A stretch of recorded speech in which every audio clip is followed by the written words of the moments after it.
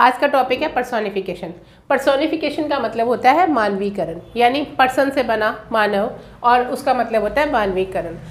Personification actual में होता क्या है? एक लिटरेरी डिवाइस है जो कि प्रोज और पट्टी में यूज़ की जाती है. पॉम्स में अगर हम यूज़ करते हैं तो उसमें क्या होता है कि अगर कोई भी नॉन ह्यूमन बींग्स है, यानी कोई मानव नहीं है बर्ड्स हो सकता है एनिमल्स हो सकता है, या फिर वो इन एनिमेट ऑब्जेक्ट यानी कि नॉन लिविंग बींग्स भी हो सकता है। और एब्स्ट्रैक्शन का मतलब होता है जो कि जैसे ऑनेस्टी है एब्स्ट्रिक्ट नाउन जिसको आप कह सकते हो, जो दिखाई नहीं देता, जिसे हम छू नहीं सकते हैं, सिर्फ़ फील कर सकते हैं, जैसे ऑनेस्टी ठीक है? तो ऐसी चीज़ों को, जैसे देखिए पर्सोनिफिकेशन ट्रीट्स एब्स्ट्रैक्शन मतलब अमूर्त चित्रण, जिसकी कोई मूर्त नहीं है। और इन एनिमेट ऑब्जेक्ट्स यानी जो नॉन लिविंग बींग्स होती है उनको ऐसे एज इफ़ का मतलब होता है मानव की। दे वर ह्यूमन ऐसे ट्रीट किया जाता है उनको जैसे कि वो मानव हो। उनको मानव की क्वालिटी दे दी जाती है इमोशंस दे दिए जाते हैं, मानव की करेक्टरिस्टिक्स दे दी जाती है। तो वो हालाँकि मानव होते नहीं है। जैसे कि अगर हिंदी में बात करें कि मेघ आए बड़े बंठन के, है ना? तो मेघ जो है, बादल जो है, वो एक नेचुरल नेचर का ऑब्जेक्ट है, प्रकृति का ऑब्जेक्ट है। और उसको हमने क्या बोल दिया? उसको हमने कहा कि बन ठन के संवर के आए हैं। और बनना ठनना ये जो है, वो एक मानव की क्वालिटी होती है, ना कि बादलों की। तो इस तरीके से अगर जब क्वालिटी दी जाती है तो वो हो जाता है पर्सोनिफिकेशन उसमें पर्सोनिफाई किया गया है मेघ को, बादल को, ठीक है? तो हम एग्ज़ाम्पल से इसे और क्लियर कर लेते हैं। अब एग्ज़ाम्पल देखिए।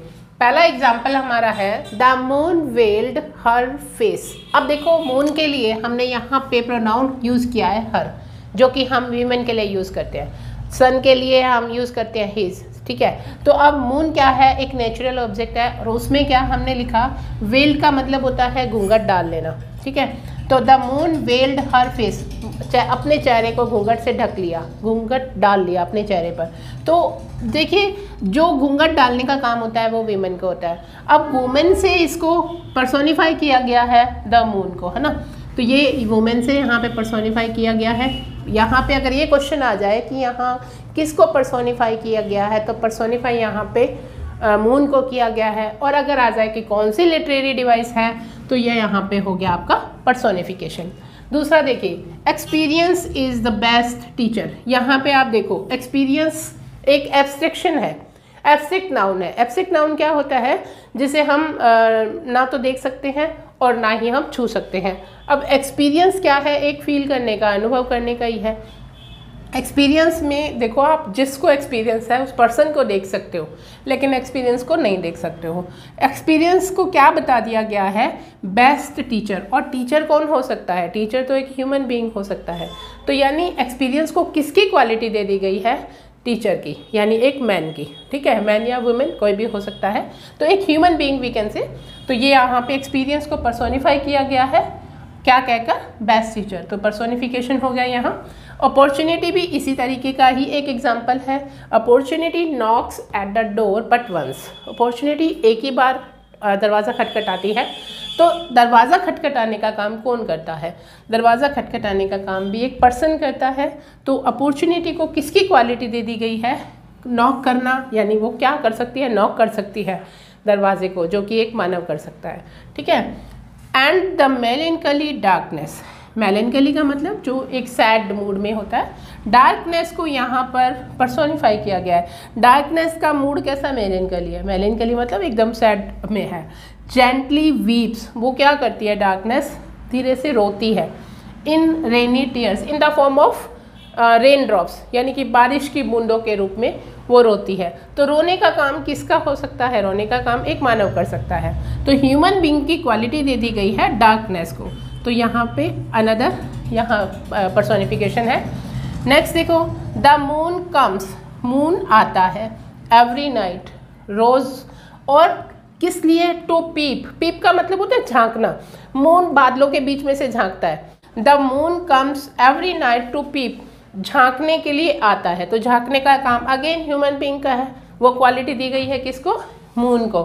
तो इस तरह से जब आपको आ, किसी भी नेचुरल ऑब्जेक्ट को या फिर किसी एब्सेक्शन को या किसी बर्ड एनिमल को जैसे हम कहते हैं पत्ते आ, पत्ते नाचते हैं हवा चल रही है हालाँकि वास्तव में वो हो नहीं रहा होता है लेकिन हवा चल रही होती है और हम कह दें कि पत्ते नाचते हैं या हम कहीं फूल मुस्कुराते हैं तो ऐसे जब दिया जाता है तो वो एक पर्सोनिफिकेशन हो जाता है।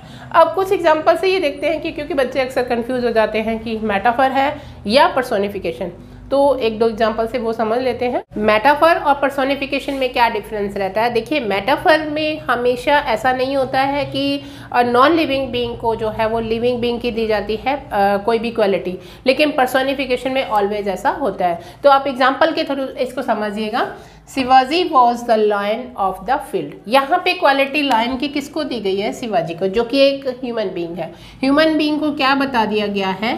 द लायन तो यानी कि उसे ही लायन बता दिया गया है। यहाँ मेटाफर में क्या होता है कि हम एक क्वालिटी एक की क्वालिटी को दूसरों पर ट्रांसफ़र कर देते हैं। उसको वही बता देते हैं।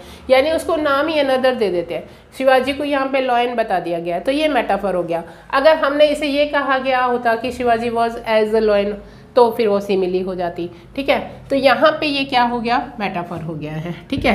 नेक्स्ट देखिए लव इज़ ब्लाइंड यहाँ पे लव एक एब्सेक्शन है, ठीक है? एब्सेक्शन मतलब लव को फिर टच नहीं कर सकते ना ही हम देख सकते हैं, सिर्फ़ फील कर सकते हैं। ये फीलिंग इमोशंस वह रहता है। ब्लाइंड किसकी क्वालिटी होती है? ब्लाइंड होना। आँखें होना ये आ, किसकी क्वालिटी होती है? एक ह्यूमन बींग की। लव को किसकी क्वालिटी दे दी गई है? ह्यूमन बींग की। तो ये आपका एक पर्सोनिफिकेशन हो गया है। यहाँ देखिए हिज लव इज़ और रोज़ रोज़ क्या है? रोज़ एक फिर वही नेचुरल ऑब्जेक्ट है। तो इसमें देखिए हिज लव उसके ल, उसका लव एक रोज़ है। ठीक है? तो ये क्या हो गया? एक मेटाफर हो गया। अगर इसे कहा गया होता कि his love is like a rose तो वो सिमिली हो जाता। यहाँ पे लाइक और एज का यूज़ करते ही सिमिली हो जाता। तो ये हमारा हो गया यहाँ पर मेटाफर तो आपने देखा कि हिज लव यहाँ पे ये सेक्शन तो हो गया, लेकिन इसे क्वालिटी ह्यूमन की नहीं दी गई है। यहाँ ह्यूमन बींग की क्वालिटी दी गई है तो दोनों का डिफरेंस ये हो गया। नेक्स्ट देखो he has a heart of stone अब ही ऑलरेडी मानव है ह्यूमन बींग है। उससे क्या कहा है कि उसका जो दिल है वो पत्थर का है, ठीक है? उससे ये नहीं कहा गया कि his heart is as a stone ऐसा नहीं बोला। एज अ स्टोन होता तो वो सिमिली हो जाता लेकिन उसे आ, उसके दिल को पत्थर का ही बता दिया गया है। इसका मतलब ये हो गया मेटाफर तो यहाँ पे ह्यूमन बींग को ह्यूमन बींग का ही यहाँ दिया गया है कंपैरिजन किया गया है। मेटाफर में हमेशा इनडायरेक्ट कंपैरिजन रहता है। The moon smile behind the clouds moon जो है क्लाउड्स के बीच में से स्माइल किया। अगेन मून है मून जो है वो फिर नेचुरल ऑब्जेक्ट है। स्माइल करना जो है पर्सोनिफिकेशन है पर्सन की क्वालिटी है और क्लाउड के पीछे से उसने मुस्कुराया मतलब यहाँ पे पर्सोनिफिकेशन है। होप आपको ये क्लियर हो गया होगा कि पर्सोनिफिकेशन और मेटाफर में डिफरेंस क्या है। इससे पहले हमने मेटाफर और सिमिली का डिफरेंस भी आ, कुछ एग्जांपल्स के साथ प्रीवियस वीडियोस में कर रखा है। एसोनेंस अलिटेशन एंड कॉन्सोनेंस के बारे में भी हमने इसकी एक वीडियो बना रखी है तो आप वो ज़रूर देख लीजिएगा।